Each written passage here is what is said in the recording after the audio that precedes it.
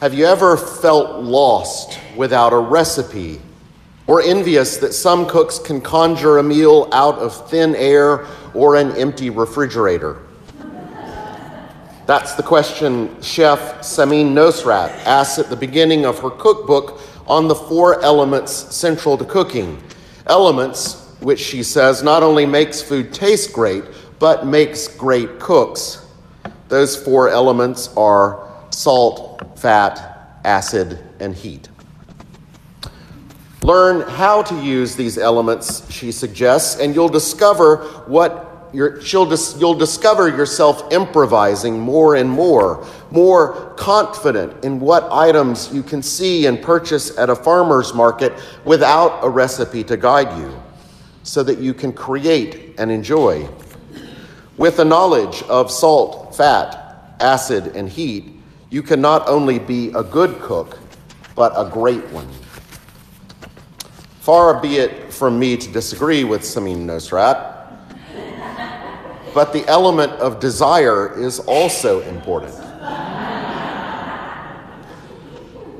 In order to cook a nice meal, one has to want to cook a nice meal, value a nice meal, and appreciate the delight which comes from the creativity of food. If your approach to food, no shaming here, is just something to put in your stomach to stop the hunger, if food is a means to an end, then if you don't enjoy cooking, then no amount of knowledge about salt, fat, acid, and heat will produce the results that you and others desire. It takes a recognition that we don't just need to be fed, we need to be fulfilled. When Jesus is telling the disciples that they are salt, he's not just comparing them to a spice for food. He's not even singling out individuals. The you pronoun he uses isn't you as in you individually, it's a collective you, like Jesus is saying, y'all. y'all aren't salt and light on your own. You're salt and light when you participate and belong within a community committed to being salt.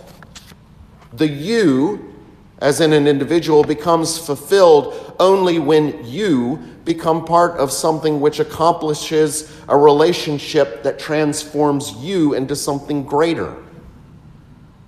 I think that Jesus uses this comparison to claim we disciples, we, y'all, are essential to a finished product, to the creation of something meant to fulfill God's great desire for all humanity.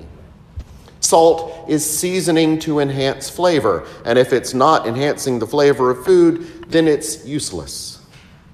Food, Samin Nosrat suggests, isn't meant to be salty, it should be salted.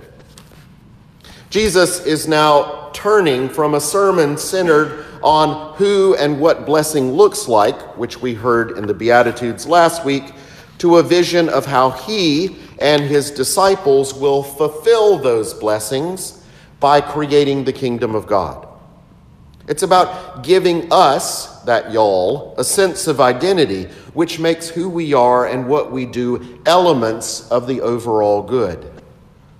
You are salt. You are light. Jesus says, Y'all, my disciples, have an extended covenant like the one Moses made with God, which goes beyond just a relationship between you and God. It's an obligation for you to be with one another. That is the formation of mission to be salt and light, which shapes the environment, the world that we live in. That's what the disciples are asked to be and to do, to create to create a world real, with realized possibility. For a chef, the result is a meal worthy of admiration and praise. For a disciple, the, the result is a world set right, with people gathered together, for wounds to be healed, trust restored, and gifts and talents to be used. That's what it means to be salt and light, to make the world salted, not salty. It means healing, forgiving, reconciling, and sharing. It means going beyond who's in and who's out, who's contributing and who's not, who's worth more than whom. It means we know what we're doing when we do it and what the result should look like, even if we don't get it quite right. It means we work together, each in our own way, to roll up our sleeves and commit ourselves to a finished product. That's what fulfillment means. We've made the Christian life a private, specialist pursuit. What we should be doing is sharing the moral vision of what a flourishing society and flourishing humanity looks like.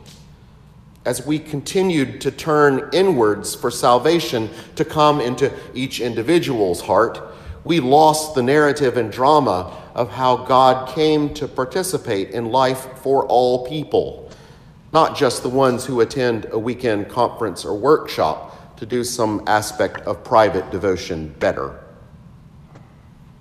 The reconciliation of God and God's people, of God's creation, isn't a private personal pursuit, but the subject of why Jesus came to be with us in the first place. It wasn't to fix our bad behavior and if you've ever read any of the Old Testament, you'll know that God abandoned that project long ago.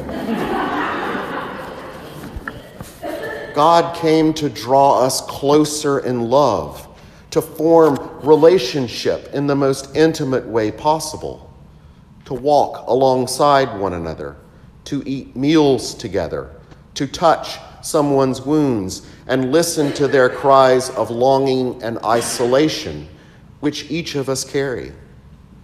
God came to remind us who God is, and in that, who we can be.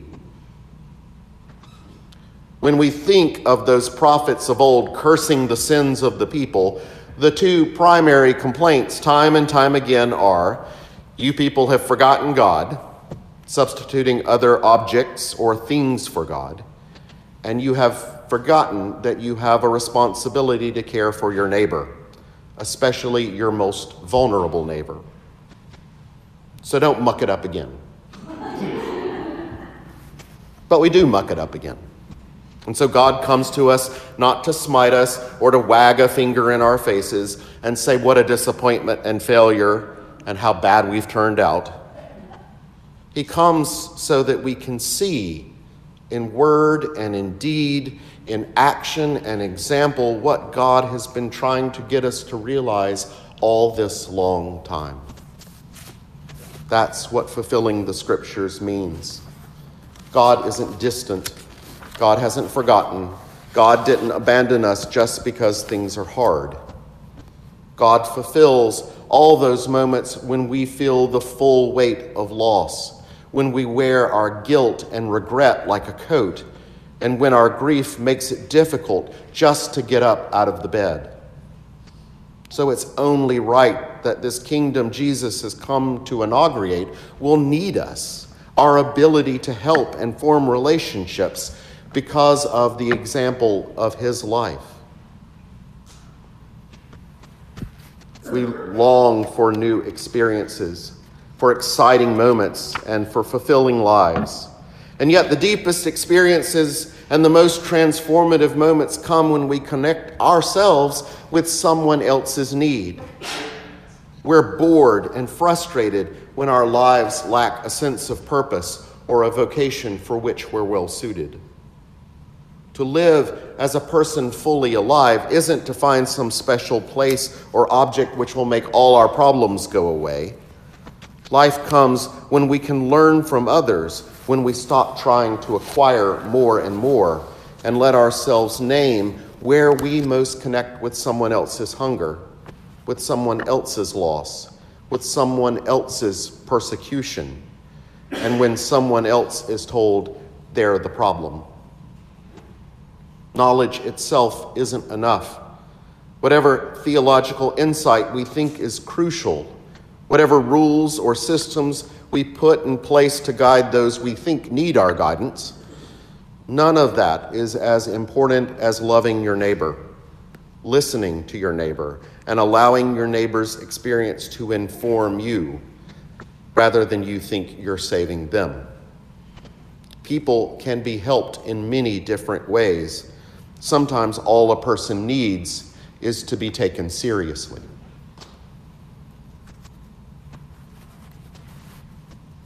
Whether you cook well or not, think of all that salt can do. Consider fresh cucumbers topped with creamy feta, a bowl of pasta cacio e pepe, or a brownie sprinkled with flaky sea salt.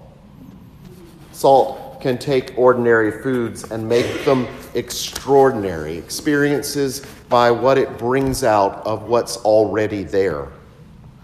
Layer the salt throughout the cooking process, and you'll be rewarded with a dish so flavorful. But it takes attentiveness to the dish as a whole project, not one moment's casual toss of salt. And just a little salt, used sparingly, can do so much.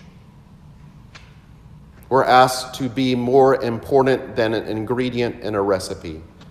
We're asked not to lose what we are in our nature and what we could be when our nature is connected with other ingredients.